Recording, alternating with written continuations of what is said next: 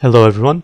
This video is about, it's actually about two things. First of all, a small farming and money making method, and second, a summoning familiar that you get out off of that farming method.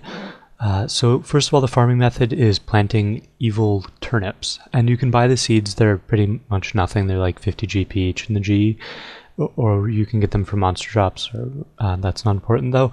Uh, but what is is that you can go and farm them here in Draynor Manor you can get there home teleporting to Draynor or by just taking a cabbage ring and using the agility shortcut here. And the evil turnips take about four and a half minutes to grow. I don't think they die at all, similar to poison ivy. They don't get diseased. Um, I could be wrong on that, but anyway, they grow really quickly.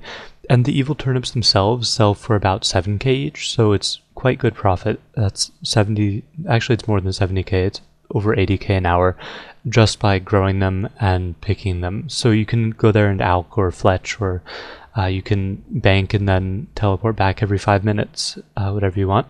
So that's a decent way to make money. Uh, and that's about it for the farming and money making bit. And now on to the summoning familiar. This is actually one of my favorite summoning familiars. The farming method is 42 farming, the summoning requirement is 42 summoning.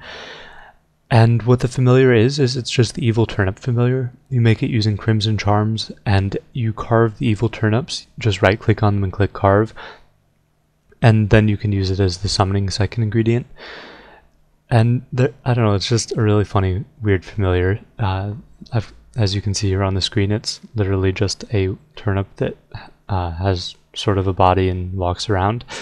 And then its attack is the really interesting thing. It breathes a fireball and makes whatever it hit it, whatever it hits will then breathe another fireball.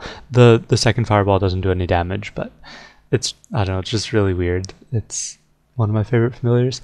Um, it I don't know, it's also actually a really good familiar for being only level 42.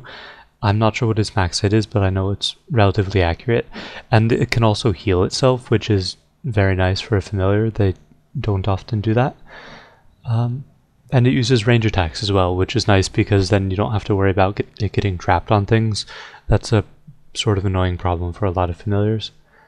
So yeah, that's pretty much it. Just thought I'd bring a sort of random little bit of RS to everyone's attention if they hadn't ever heard of it before. I don't think I've ever actually seen anyone using one of these, um, but that might just be because I don't really see a lot of low-level familiars in general. Anyway, I hope this was fun or interesting or something, so thank you for watching.